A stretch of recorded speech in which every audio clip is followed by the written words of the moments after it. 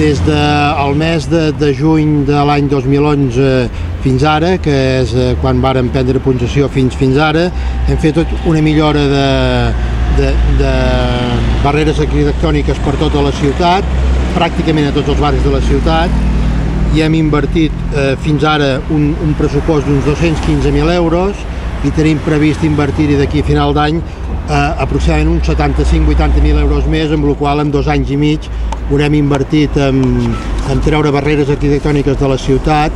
aproximadament uns 300.000 euros. Però els propers eh, dos exercicis, l'exercici de l'any 14 i el de l'any 15, tenim la previsió d'invertir-hi aproximadament entre 60 i 75.000 euros cada un d'aquests dos anys, amb la qual faria que el compromís que teníem eh, d'inversió d'aproximadament 450.000 euros el tindríem cobert amb escreix. Eh, hem fet actuacions a tots els barris, estem en un barri en el que últimament hem fet una actuació important, aquí a Pequín, hem fet tot un itinerari perquè les persones poguessin accedir amb normalitat eh, a, a, a, amb les seves eh, feines diàries, de poder anar al banc, de poder anar a la compra, de poder travessar eh, l'Avinguda Santa Coloma amb normalitat, però no només en aquest barri, sinó també en el centre, també eh, en el barri de Sant Roc s'han fet moltes actuacions, i també hem fet un itinerari per una persona invident que anava a l'escola Petit Plançó i que ens va demanar que li féssim un itinerari per poder-hi arribar amb normalitat, això es va fer durant l'any passat, per tant vull dir que hem fet moltes actuacions eh, eh, fins ara. A partir d'ara també, eh, tant punt estigui, estigui acabada la reparació del pont de la ceràmica, començarem a, a fer, a, a, a fer el, el carrer Mirador, de l'escola Bressol i l'escola del Morrot perquè es pugui travessar amb normalitat el carrer i perquè es perdi una mica la perillositat que tenim ara en la curva aquella que hi ha doncs, per, per intentar evitar la perillositat i també farem una actuació allà i finalment farem una actuació important eh, a davant de, de l'escola de l'entrada de l'escola del Cor de Maria d'allà desapareixeran uns quants aparcaments de zona blava, s'ampliarà la cera i també es farà eh, un accés fàcil eh, per gent discapacitada tant a l'escola com perquè pugui circular tot el carrer cap al carrer, cap al carrer Macarnau. Bé, per altra banda, continuarem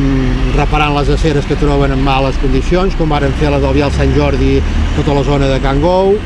També esteu, heu vist que hem fet alguna reparació en el Firal, en el Firal hi farem algunes reparacions molt concretes en llocs on està més, més malament, però seran reparacions molt puntuals que fins a l'espera de que es pugui fer una inversió eh, important i poder arreglar el Firal. Mentrestant, iré fent petites actuacions per, per anar-lo per anar millorant. I finalment el que també farem i probablement doncs, eh, d'una forma ja immediata, jo crec que abans d'acabar el mes ja traurem a licitació tot el que és el, el pla d'asfalts d'aquest any perquè durant els mesos de, de, juliol, de juny, juliol mm, es pugui ja portar efecte el, el reasfaltat de carrers i també anar millorant així eh, tot, el, tot el tema de, de vialitat a la, a la ciutat. Nosaltres, com el nostre grup de MIFES, de persones discapacitades físics, que som els que mirem de lluitar per, barreres arquitectòniques de, de les ciutats i pobles. Nosaltres el que nosaltres pretenem és de que tots els barris de la ciutat estiguin adaptats, tal com ha explicat el regidor Josep Gelis, eh, que anem fent de mica en mica tots els barris. Aquí aquest barri doncs, s'han fet un seguit d'obres de les millores arquitectòniques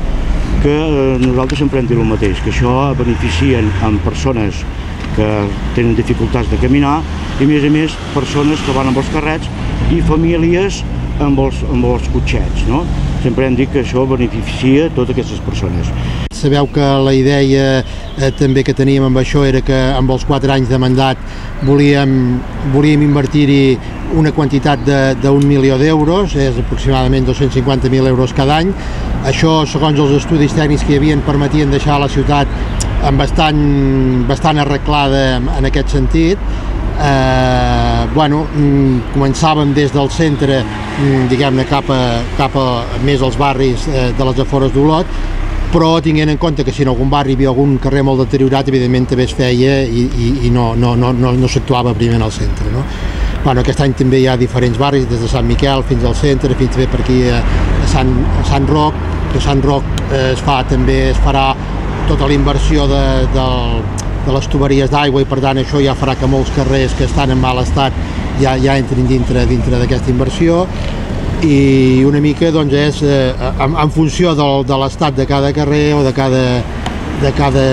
punt en concret es va fent l'actuació. Eh? En aquest moment el que s'està fent per part de la brigada és llantiar fronjalls, o sigui, llantiar forats o coses d'aquest tipus, preparar-ho perquè això ens permet eh, no entrar-ho dintre, dintre aquest pressupost de pla d'asfalt, sinó que sigui només ja asfaltar i això ens permetrà poder fer més, més metres d'asfalt i amb això doncs, eh, millorar més carrers eh, dintre de la ciutat. Eh?